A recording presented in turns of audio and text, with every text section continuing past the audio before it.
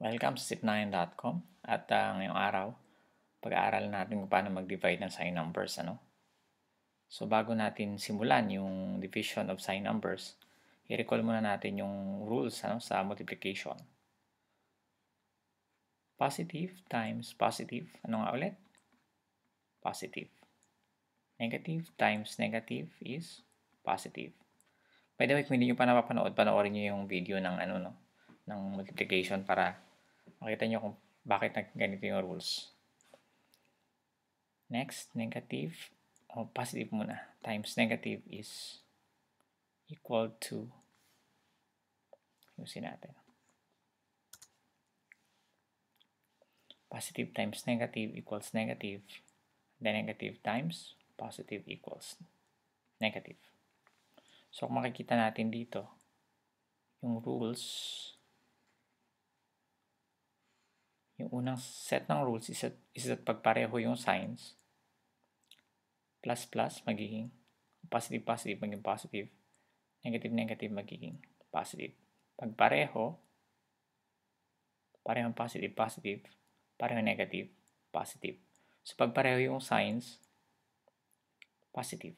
Sa pares lang ito ah. Baka mamaya i-apply nyo sa sa ano tatlo. So pag dalawa lang, dalawang numbers. Next. Sa second set, sinasabi niya na pag magkaiba, kaiba ng signs, positive, tsaka negative, or negative, tsaka positive. Negative yung sagot. Na may good news dito kasi, ang rules ng multiplication is the same as the rules ng division. So, pag pinalitan ko ng division to, ng, ng division sign, yung mga nandito,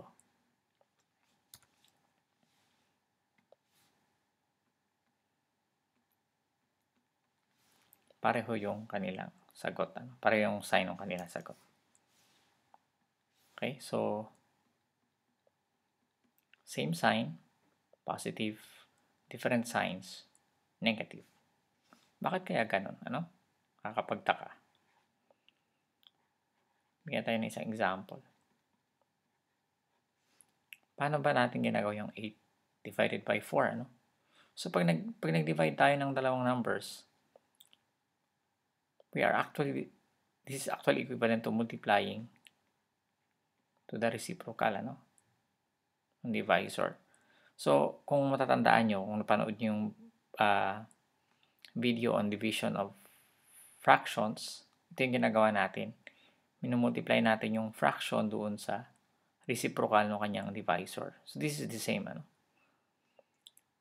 So, 8 times 1 fourth is, kung magiging detali, detalyado yung gagawin natin, magiging 8 over 1 times 1 over 4 which is equal to 8 over 4.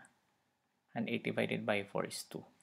Pero alam na natin na to kasi 8 divided by 4 lang naman yung ano, di ba? 8 divided by 4 lang naman yung question. Kaya lang natin pinapakita to kasi gusto natin ibalik nung kanina sa rules ng, ng multiplication. Ano? So, pag positive times positive, positive pa rin yung sagot sa multiplication. Kaya pareho siya dito. No, sa division. Number 2 what is uh,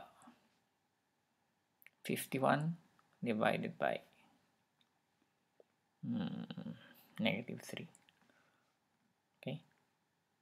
so negative by magiging sagot yes kasi magiging 51 times negative 1 third ano?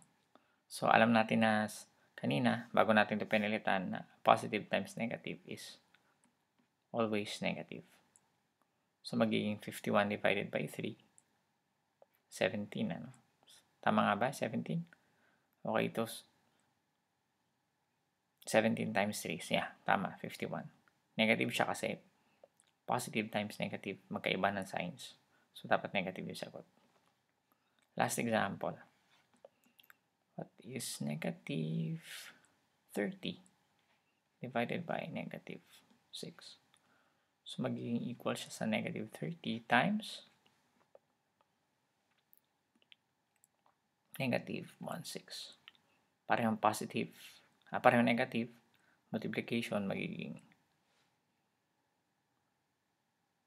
sagot is magiging 5. Balikan natin dito. Okay? So kaya yung yung rules ng ng uh, multiplication at division ay pareho kasi ang any um, division operation pwede mo siyang i-convert into multiplication kaya pareho lang sila ng rules. Okay? So I think sana malinaw ano. Okay, maraming salamat at see you in the next video.